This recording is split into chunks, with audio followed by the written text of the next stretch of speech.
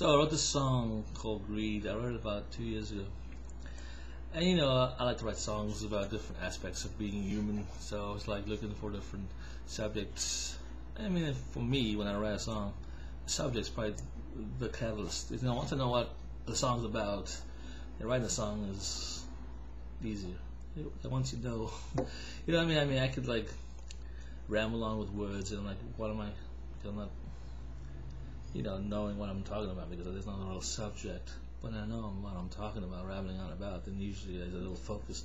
So you know, so I just like writing songs about different aspects of being human, like greed, envy, kindness, happiness, love, and all these things. So okay, um, so I got to greed. I'm like, okay, I want a song called Greed. Can I do it?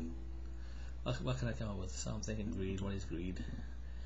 Greed, uh, you know, a loving for things, I guess. Uh, of too much of, of a particular thing. It's, it's not necessarily greed for food or whatever, alcohol. It can be greed for love, greed for greed for goodness, a greed for happiness, a greed. You know, it's anything that you want too much of, I guess. But I say too much of anything is bad.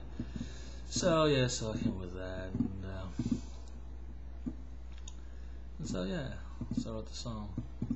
And so, you know, I kind of came up with, uh, you know,